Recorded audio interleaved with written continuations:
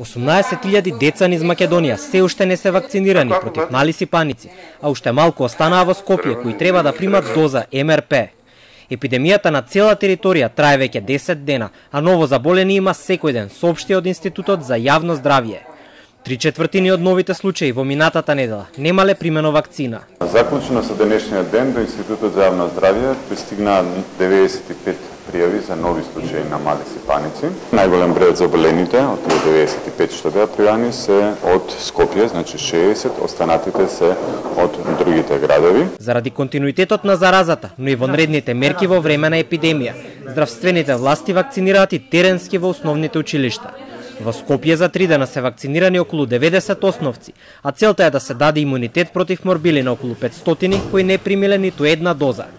Во другите градови, медицинските тимови имаат многу повеќе деца за вакцинирање.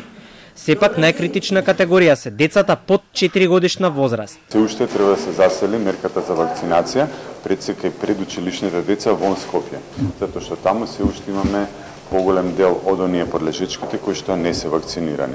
Во Скопје со прогласувањето на епидемијата и со заселените мерки, веќе 80% од пронадените деца кои што не се вакцинирани се веќе вакцинирани. Меѓутоа сепак остануваат уште 3500 деца во Скопје кои што треба да се вакцинираат. Поради компликации предизвикани од малите сипаници, на најтешка клиничка слика лекарите наидуваат кај децата под една година кои се заразиле со вирусот. Затоа и одлучија да ја намалат границата за вакцинирање, да можат и деца на 6 месечна возраст да ја примат вакцината. Но одзивот до сега е слаб, потврди од Институтот за јавно здравје. Како е дошло добро?